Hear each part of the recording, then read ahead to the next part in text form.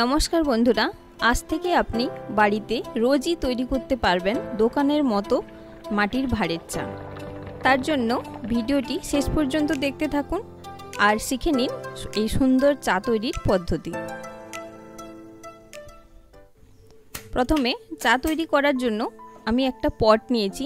এই পটটি সহজেই বাজারে পেয়ে যাবেন। এই পটটি এক থেকে দু মাস ব্যবহার করতে পারবেন। এতে আমি এক কাপ জল দিচ্ছি। এবং তাতে থেতো করা আদা দিয়ে দিচ্ছি, এক ইঞ্চি মতো। আর দু থেকে তিনটে এলাচ ভালো করে থেতো করে নিয়েছি। জলটা ফুটে উঠলেই দুই থেকে তিন চামচ মতো সিটি সিট চা পাতা দিয়ে দিচ্ছি।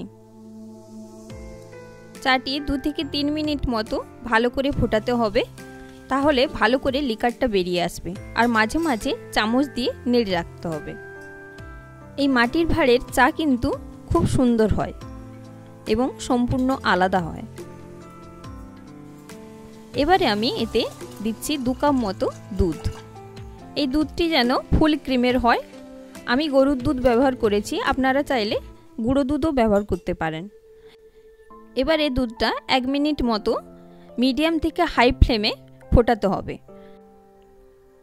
এটা যত ফোটাবেন, তত ফ্লেভারটা আরও সুন্দর হয় এবং দুধটা ঘন হতে শুরু করবে আস্তে আস্তে।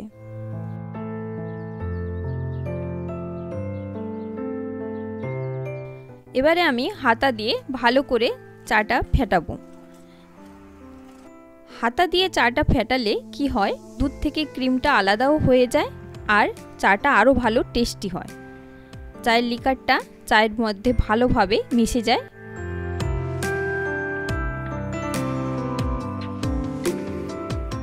এইভাবে আরও এক মিনিট মতো ফোটানোর পরে এবার আমি চিনি যোগ করব।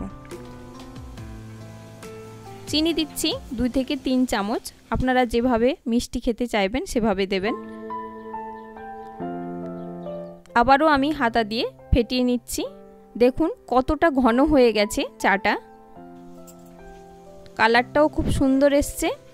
এবার আমি গ্যাসের ফ্লেমটা বন্ধ করে দিলাম। গ্যাসের ফ্লেম বন্ধ করার পরেও দেখুন এখনও ফুটছে চাটা। এবারে আমি চাটা যে কোনো একটা মগে ছেঁকে নেব।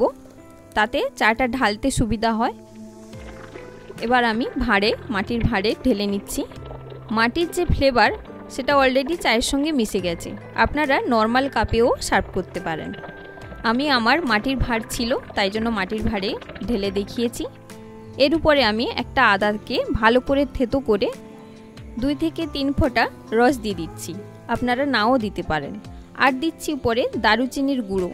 আপনারা চাইলে এলাচেরও গুঁড়ো দিতে পারেন। একদম দোকানের মতো সুন্দর চা এইভাবে পরিবেশন করুন, সবার প্রশংসা পাবেন।